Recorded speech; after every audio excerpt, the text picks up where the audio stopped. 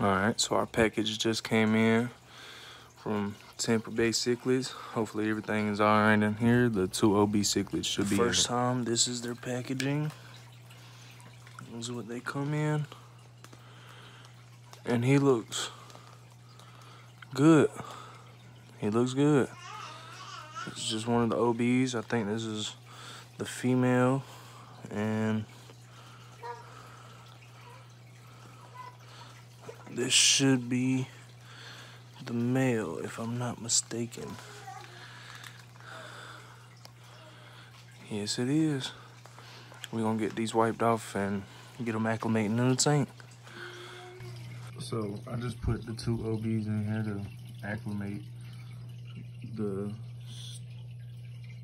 the blue sapphire, whatever that last name is doing good. The other one's doing alright. Still isn't as good as the other one, this one. But got these two in here acclimating. As soon as they get done acclimating them, I'll add them to the tank. And I still got this guy up here in quarantine because he's still being a menace.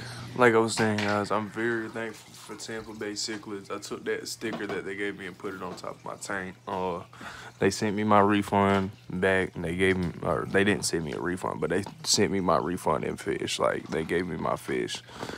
They didn't have much to say about it. They understood completely, so I'm glad. Alright,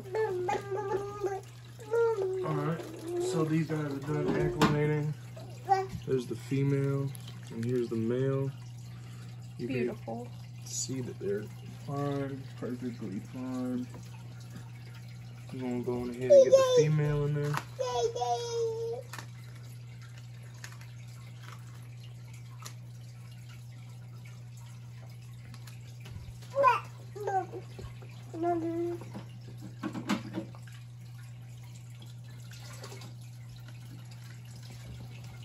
There's the female.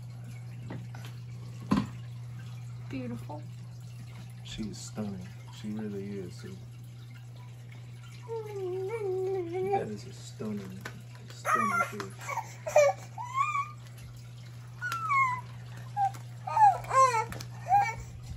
Sorry about the background noise, y'all. We got a baby.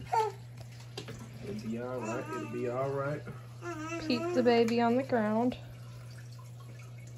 And there's number two, the male.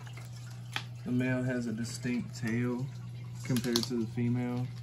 He looks a lot brighter with the colors and everything.